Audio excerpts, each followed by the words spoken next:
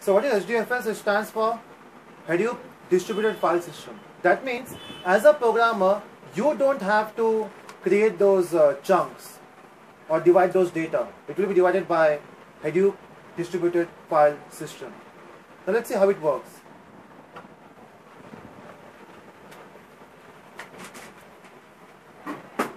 So let's say you have uh, you have a data of of 6 MB, okay, and you want to upload this data on server. So where you will upload? Maybe Dropbox, okay. So how many how many of you use Dropbox here? Is it safe? No. There's, there's there's nothing called as security in this unsecure world. It's not safe, okay. But no choice we have to store data somewhere. Maybe Google server, maybe Dropbox server. Is it secure means, uh, let's say you want to store a data somewhere for 50 years. Where you will store? In CDs, scratch, in pen drive. You cannot store data in pen drive. It's because pen drive has a, a, a lifetime.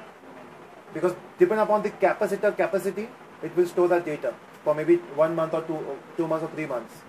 What about hard drives? Kind of maintain करना पड़ेगा. What about uh, cloud servers? You can store, right? So let's say you are using a Dropbox server. So here's a Dropbox server. So I will upload this file on Dropbox server. So how much space it requires? 6 MB? Simple. But let's say someday you have this file here and one day, let's say this server is in Pakistan or in, let's say, in Bangladesh, and there was some attack on this server, some physical attack, maybe a bomb or earthquake or something. Server gone, data gone. Now you will ask Dropbox, where is my data? What Dropbox will say? Achha, your data is more important than our life. Right? So data gone, right? Is it? your data is important than their life because data is more important. In fact, when I was working for L&T, so, uh, we had this quote, data hamara beta hai, which means your data is more important than you. Okay, so that means what they do, they don't store your data at one place, they store your data at multiple locations. So let's say your data is also here. So you will store your data in two servers. But two servers enough? Let's say one is stored in USA, second is Bangladesh. And at the same time, there was two attacks. Data gone? So what they do? They use three servers. And then you will say, what about they were attacked at three different places? Then it's okay. Okay. We cannot have five different servers for one person. So they what they do, they create three backups. They have multiple servers, but they have maximum three backups. Clear? So they will store here, here and here. Now, now let's say you want to download that file now. So in future, you want to download that file. How will you download?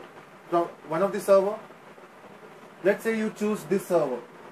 So what will be the downloading speed? Let's say your internet speed is 1 Mbps. 1 Mbps. So what will be the download speed? 1 Mbps? it also depends upon the server's uploading speed. If your server upload speed is 512 kbps, obviously you will get 512. You getting a point? So you have a download speed of 1 Mbps, the server has 512 kbps as an upload speed.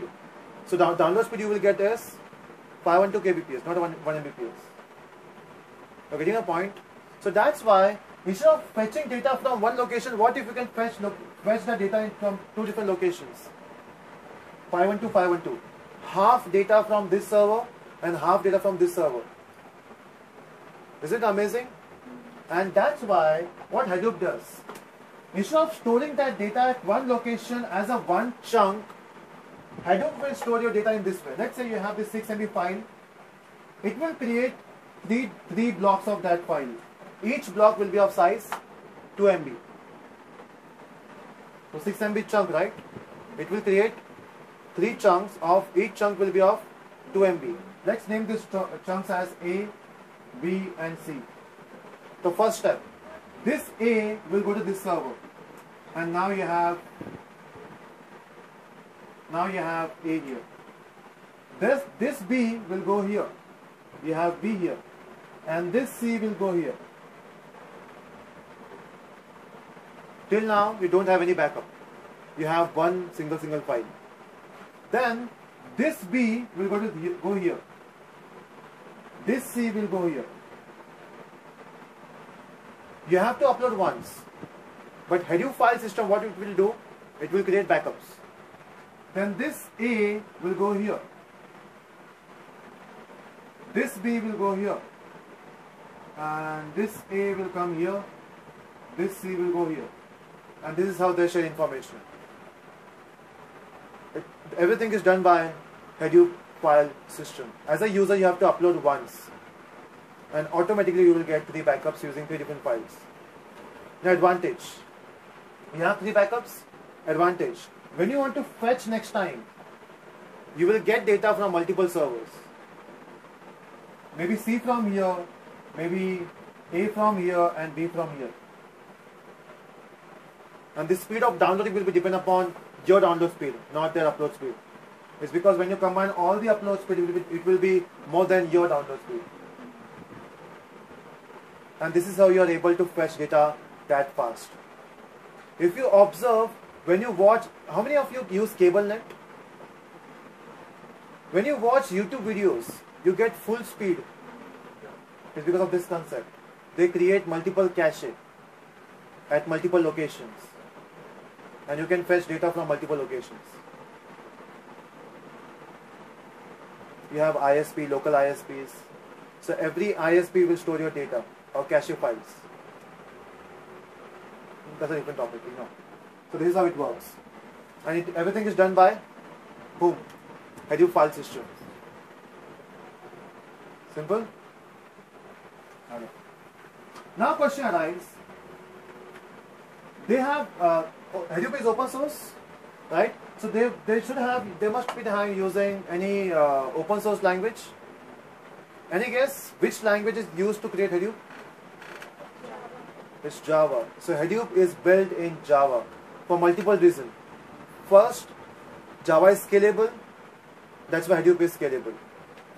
Hadoop need, need uh, robustness. Java provide robustness. Hadoop need open source technology and Java is open source. Hadoop needs support. Java has support from Java community, community, from Java 1 community, from Oracle company, and from lots of companies. They provide Java support to Hadoop. Clear? And there are lots of contributors to Hadoop. One is uh, uh, Hortonworks, then we have Cloudera company. There are lots of companies who work on Hadoop technology. And the major provider is your company called as Apache company. And that's why when you when you learn about Hadoop somewhere, it will be always Apache Hadoop. Because they maintain all the work of or they maintain Hadoop framework. Apache company. Heard about Apache? Where? Uh, actually, uh, I set up PHP to Apache. Acha, yeah. PHP, when you work with PHP, you have to work with Apache service. What about you? Obviously. PHP. From you. That's a from me. Apache, PHP. Everyone, what about you, Shivam? You have for Java web servers, we have Apache Tomcat. For uh, PHP, we use WAMP. There are lots of Apache servers are there. So, Apache believe in open source, and that's why I love Apache. And one of the reasons why I hate Microsoft because they don't believe in open source technology. In fact, Apple don't believe in open source technology, and that's why they have more money. Huh? Why are you using? No choice. Ah, I use Google also. I use Google uh, Cloud also. Good point. Huh? okay, where was I?